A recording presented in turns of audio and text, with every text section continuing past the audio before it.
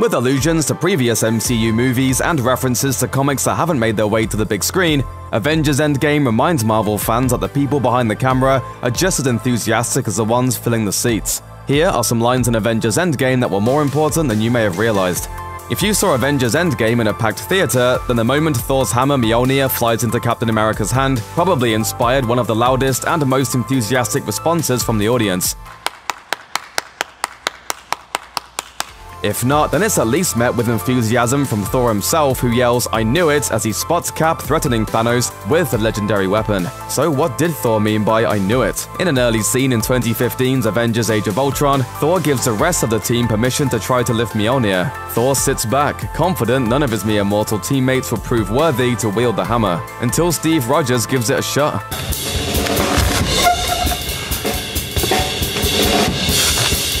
That brief nudge and past comic book stories in which Cap has proven worthy of Mjolnir left some fans theorizing that Cap could have lifted the hammer but chose not to in order to spare his teammate any humiliation. Apparently, the Odinson was one of those fans. When Thor yells, I knew it, he betrays that he thought Cap was faking way back in 2015 as well. And how couldn't he? Cap's as worthy as they come.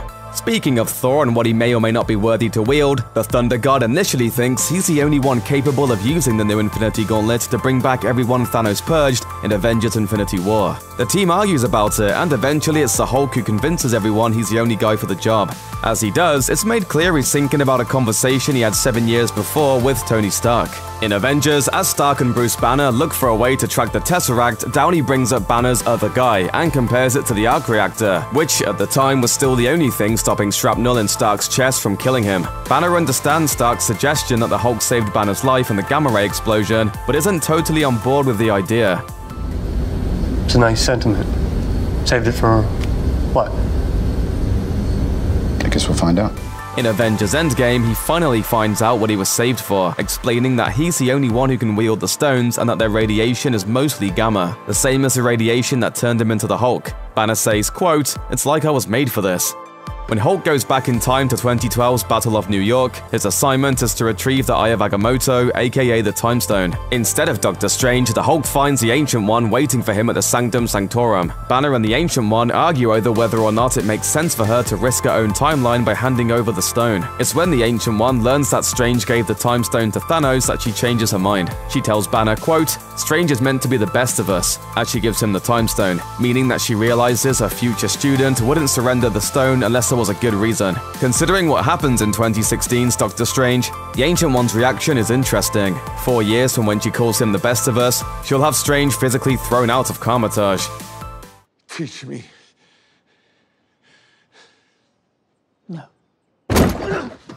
You could call this a contradiction, but it could also suggest a lot more complexity to the early Sorcerer Supreme and her decisions. Did she expect Strange to eventually show up and wrestle with a decision or whether or not to let him in? Or perhaps, sensing Mordo's potential for turning on his allies, did she kick Strange out just to see what Mordo's reaction would be? Shortly after Tony Stark figures out time travel, he settles down on a couch with Pepper and talks about what he should do next. He tells her that part of him wants to scrap all his work, box it up, and drop it to the bottom of the lake. This is the same Pepper who almost left Tony's employ in 2008's Iron Man over his armored adventures and who was ready to break up with him over his constant tinkering in 2013's Iron Man 3. This is a new level of lame. She clearly developed a sense of resigned acceptance since we last saw her, because her words seem to be what convinced Tony to take his new innovation to the Avengers. After listening to her husband, Pepper tells him that trying to stop him has been one of the few great failures in her life. It's accurate, as anyone who has seen all the Iron Man entries can testify. But there's a bittersweet irony you don't see until the end of the movie's climactic battle.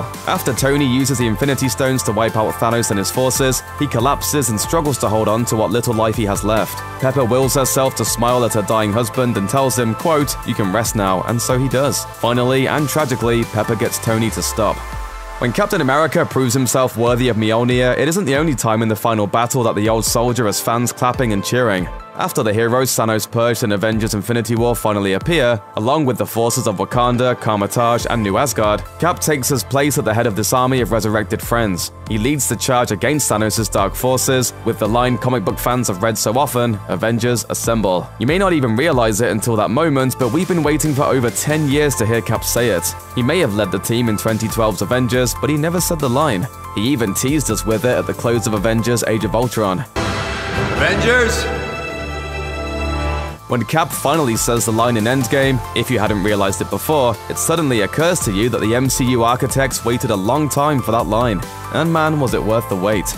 It's Emma Fuhrmann playing Scott Lang's daughter Cassie in Avengers Endgame, not the younger Abby Ryder Fortson who plays her in Ant-Man and Ant-Man and the Wasp. But that doesn't stop Scott from recognizing her when he returns from the quantum realm. At the end of their reunion scene, Scott says, You're so big. It seems fairly obvious, and it's something adults say to kids all the time if they haven't seen them for a bit. You're so big and so well grown. But it has a double meaning understood by fans of the comics. In 2004, the comic book version of Scott Lang was seemingly one of the fatal victims of Marvel's Avengers Disassembled assembled event. In the wake of his death, his daughter becomes the hero stature as part of Young Avengers. Like her father, she has powers that can make her smaller or bigger. In a tragic twist, Stature dies just after her father is brought back to life in 2010's Avengers The Children's Crusade. Thankfully, Cassie rejoins the land of the living and is reunited with her father in 2015's Avengers World issue 16, because, you know, she's a Marvel Comics character, so it's pretty much mandatory. After Thanos unleashes his assault on the Avengers compound, Hawkeye is the first to get his hands on the new Infinity Gauntlet. He holds on to the thing for a while, fighting off a swarm of Outriders and surviving an attempt to steal it by the 2014 version of Nebula. But once the purged heroes return and things get real, Hawkeye calls for help. The first hero to respond is Black Panther, who calls out, Clint, give it to me. It's not a particularly memorable line until you remember how these characters met and the fact that they only exchanged two lines of dialogue before Endgame. In particular, their entire conversation was about Hawkeye's real name and how little it mattered. So it's kind of funny that's the name Black Panther uses in Endgame. In 2016's Captain America Civil War, during the airport battle and shortly after Ant-Man shocks the other heroes by turning giant instead of tiny, T'Challa advances on Hawkeye. The conversation that follows is short and to the point. We haven't met yet. I'm Clint. I don't care. Apparently, he started caring just a little bit more by the time Endgame rolled around. One of the best action sequences in 2014's Captain America the Winter Soldier is the tense and eventually violent elevator scene, as S.H.I.E.L.D. operatives who are actually Hydra agents slowly fill an elevator Steve Rogers is taking, and the old soldier soon realizes it's walked into a death trap. Avengers Endgame gives fans a scene acting as both sequel and prequel, as it takes place moments after Loki's capture in 2012's Avengers. S.H.I.E.L.D. agents are transporting Loki's scepter when the Captain America from the future intercepts them in the elevator. He's able to convince them to hand over the scepter when he whispers, Hail Hydra. The line references the Marvel Comics storyline that introduced a version of Captain America who was secretly serving Hydra. This was extremely controversial, and Captain America, Steve Rogers writer Nick Spencer, received death threats over it. Hydra Cap is eventually defeated at the end of the 2017 line-wide event Secret Empire. Endgame also echoes that series when, shortly after getting the scepter, Captain America 2019 is forced to fight as double from 2012, just as the real Steve Rogers defeated his Hydra counterpart in Secret Empire.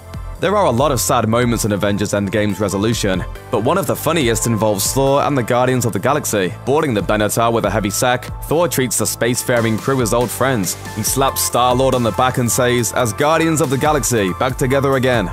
Thor's reference to Asgardians of the Galaxy is more than silly wordplay. In 2018, Marvel premiered the comic Asgardians of the Galaxy, featuring Asgardian characters on a space quest. The most recognizable characters to MCU fans would be Skurge the Executioner, played by Karl Urban in Thor Ragnarok, and a younger version of Loki, who begins the series hidden in the Destroyer's armor. There's also Valkyrie, Throg the Frog of Thunder, and the Thor-like Earth hero Thunderstrike. Considering that Asgardians of the Galaxy premiered in the second half of 2018, Thor's line actually brings up a chicken and egg question of exactly who is referencing whom. Depending on exactly when the scene was filmed, is Thor referencing the comic in that scene, or was the Asgardians of the Galaxy comic inspired by that line from the script? Shortly after we see Cap leading his support group, he visits Black Widow at the Avengers compound. He talks with his old friend about moving on from the Purge, telling her, I keep telling everybody they should move on. Some do, but not us. Cap's talking about accepting the losses he and Nat have suffered, rather than trying to find a way to reverse them. But there's a bittersweet foreshadowing to the line as the movie continues. By the time the credits roll, Captain America and Black Widow are two characters who have definitely moved on. Black Widow sacrifices herself to get the Soul Stone from Vormir, while Steve Rogers uses his quest to return the Infinity Stones to recapture the life he lost when he plunged into the ice in Captain America the First Avenger. If you weren't already crying, that reveal most likely triggered a few happy tears. Taste the happy, ah. Michael. Ah, taste it. Tastes kind of like sad. Check out one of our newest videos right here, plus even more Looper videos about